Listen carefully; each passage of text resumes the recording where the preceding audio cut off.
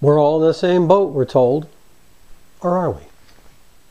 Stay at home, social distancing, masks, wash hands, hand sanitizer, open restaurants, don't open restaurants. We are all affected by the rules designed by various experts and set out by governmental entities like national, state, and local authorities. I have friends whose businesses are simply shuttered right now due to this adventure. And on the other end of the spectrum, it hasn't affected me or many other of my friends all too terribly much. Oh, the Zoom meetings are getting a bit old, but other than that, we're fine. Some hourly workers are faring better on unemployment than when they were working. And others haven't even been able to get a hold of their state unemployment offices and file yet. Some breadwinners are able to juggle this new work from home reality and use that commuting time to better connect with their families and spruce up their landscaping. Others are cooped up in underfunded, stressful domestic environments where depression, abuse, suicide rates are creeping up. And then there's the issue of childcare. What if you're called back to work when you're told it's safe-ish and there's no place for your child? Some have grandparents, nannies, sitters. Others are just out of luck. In some corners of the country, it's being suggested that public schools may not even open when the fall semester begins. So at best, I can say we are all in the same storm, but by no means are we all in the same boat. The capricious nature of how the rules are deployed can drive one crazy. In neighboring St. Charles County, for example, restaurants are open with spacing and mask limitations. But here in St. Louis County, they're not open yet. Possibly will be by the time you see this, I think. So what do the risk takers do?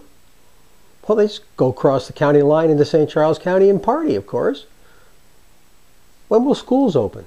Salons, markets, services?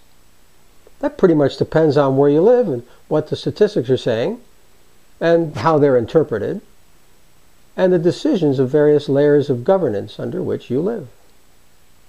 So when our world opens is absolutely critical to getting our lives back on track. Let's say everything is open tomorrow. That, that flip switch the authorities told us could never happen, just for argument's sake. What are you willing to do? When are you opening? Now, I've been setting my standards all along. I'm pretty sure you have too.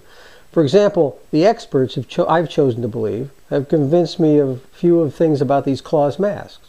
These, leaving the N95s for frontline medical staff for now. First, they're not very useful defensively. They don't stop virus droplets from getting in. They're made to stop my droplets from getting out. And their main purpose is protecting those around us, not us. And second, the risk of absorption out in the open air, where I walk and run, is minuscule. Third, it's six feet apart or a mask. When I'm outside and control the distance from others, inside, grocery stores, etc., I'm at much higher risk of not being able to keep that six foot radius, so the mask goes on. That's been the bulk of the choices I've had to make so far. Outside, no mask. Inside, mask. But now they're going to start opening my world stores, gyms, meetings, restaurants, etc. The question is, how am I going to open? That's right.